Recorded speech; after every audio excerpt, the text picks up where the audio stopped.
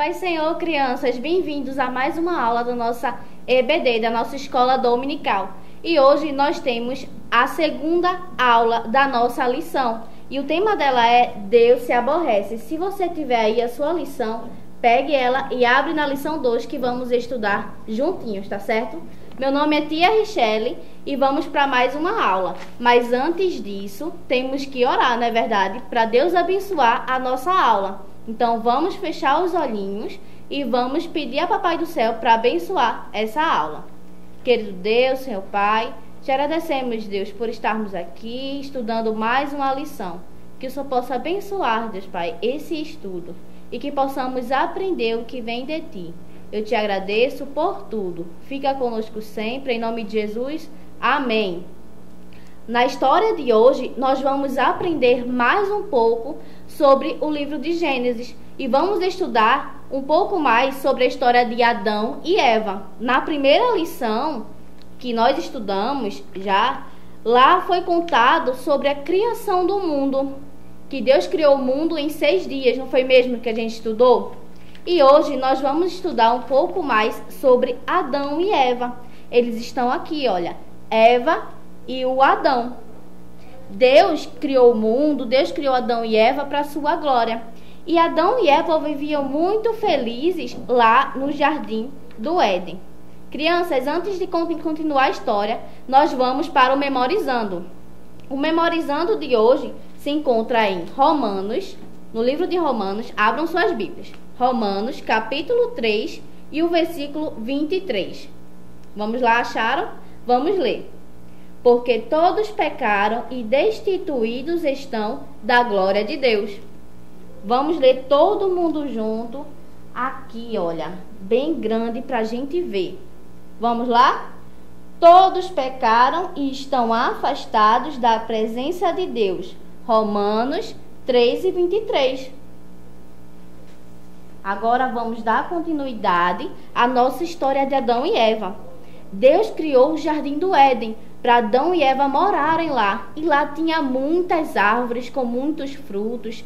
Deus criou os animais para viverem na companhia de Adão e Eva. Olha os animais aqui, olha, o cachorro, a girafa, o leãozinho, o elefante, e todos viviam em harmonia. E Adão e Eva eram muito felizes naquele lugar, porque eles sempre também conversavam com o Senhor. Pela manhã eles sempre conversavam com Deus, Deus perguntava como eles estavam e sempre vivendo em harmonia. Mas a gente sabe que quando a gente está em comunhão com o Senhor, o diabo ele não gosta. O diabo ele fica com raiva, fica bravo, querendo nos atrapalhar, atrapalhar nossa comunhão com Deus.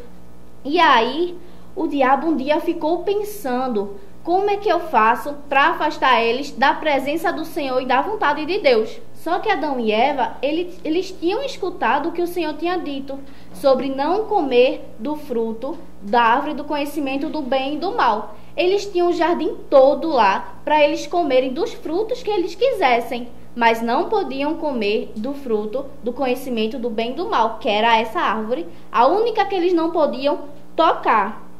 E essa árvore, o diabo sabia, o inimigo sabia que como Deus tinha ordenado isso, eles não podiam fazer, senão eles iriam pecar. E o diabo agiu bem aí. Foi lá, ficou pensando em como fazer isso, né? E eles, Adão e Eva, precisavam só confiar no Senhor e acreditar, né? Na palavra dele. Mas o diabo, através de uma serpente, olha a serpente aqui, olha.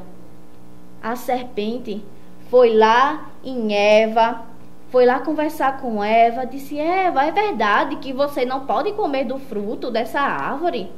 E Eva disse para a serpente: É verdade, Deus disse que se a gente comer, a gente vai morrer. Não podemos desobedecer ao Senhor. E Eva tinha escutado isso de Deus, que não podia comer desse fruto. Mas a serpente foi lá, olha, e conversou com Eva, disse: Eva, se você comer esse fruto, você não vai morrer, não. E você vai ser como Deus. E Eva ficou: Meu Deus, será que é mesmo? Será que eu como desse fruto? E Eva foi lá, olha, e pegou. Eva foi lá e comeu do fruto. Meu Deus, olha só como eles estavam felizes aqui, com, com os animais, Adão e Eva em comunhão com Deus. Estavam tão felizes, mas Eva, olha, escutou a serpente. Eva foi deixada levar pela voz do inimigo, que o inimigo estava falando através da serpente. E Eva foi lá, e além de comer o fruto, ela pegou o fruto e foi lá falar com Adão. Se Adão, olha, eu comi do fruto da árvore do conhecimento do bem e do mal. E Adão não sabia não que, que Deus tinha falado que não era para comer? Adão sabia, mas ele também se deixou levar e comeu do fruto. E os dois ficaram em pecado. Isso acontece tanto, crianças, nas nossas vidas. O inimigo vem, tenta persuadir a gente, tenta fazer que a gente peque para a gente sair da vontade de Deus, do centro da vontade de Deus. A gente sabe que a vontade de Deus é a melhor em nossas vidas e não podemos nos deixar levar pela voz do inimigo, não é mesmo? E aí, Eva e Adão ficaram envergonhados, perceberam que eles estavam nus, ficaram se escondendo, fizeram roupas para eles de folhas, porque eles estavam envergonhados. E isso é o que o pecado faz com a gente. Isso é que o inimigo faz com a gente. Faz com que a gente fique envergonhado. Envergonhado de falar com Deus, envergonhado dos nossos pecados. E não podemos nos deixar levar. Adão e Eva viviam num lugar tão lindo o jardim do Éden, com os animais lá, ficavam conversando com Deus, mas por causa de um pecado, eles acabaram saindo da vontade e de Deus e da sua presença. A gente sabe que nosso corpo é templo e morada do Espírito Santo e que não podemos pecar. O nosso versículo, ele fala: "Porque todos pecaram, estão afastados da presença da glória de Deus." Todos pecaram por causa desse primeiro pecado aqui de Adão e Eva. Mas tem uma solução. Não, não podemos ficar pecando. Nós sabemos disso. Mas se caso pecarmos, no versículo 24 do capítulo 3 que nós lemos em Romanos, diz assim: sendo justificados gratuitamente pela sua graça, pela redenção que há em Cristo Jesus somos justificados por Cristo. Cristo morreu por amor dos seus filhos, morreu por causa dos nossos pecados e através dele podemos ter a redenção dos nossos pecados. Adão e Eva pecaram e com isso vieram as consequências. Infelizmente, né? Nós sabemos que cada escolha tem suas consequências. Eles resolveram ouvir a voz da serpente a serpente também foi castigada. Deus castigou a serpente, que a serpente foi usada pelo inimigo. E através da serpente conseguiu fazer com que Adão e Eva pecassem. Deus tinha tanto amor por Adão e Eva, fez o jardim do Éden tão lindo, com os animais tão lindos, olha, juntos dele, mas infelizmente Adão e Eva pecaram. E é assim, crianças, temos que estar sempre atentos à voz de Deus. E quem vai nos ajudar nisso? Quem, quem vai nos ajudar a perceber quais são as armadilhas do inimigo? Quem é? É o Espírito Santo. O Espírito Santo vai nos dar discernimento para vermos o que é o mal e o que é o bem.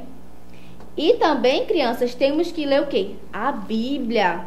Olha só, sabe o que é a Bíblia? É um manual é o nosso manual de sobrevivência. Podemos encontrar tudo na Bíblia.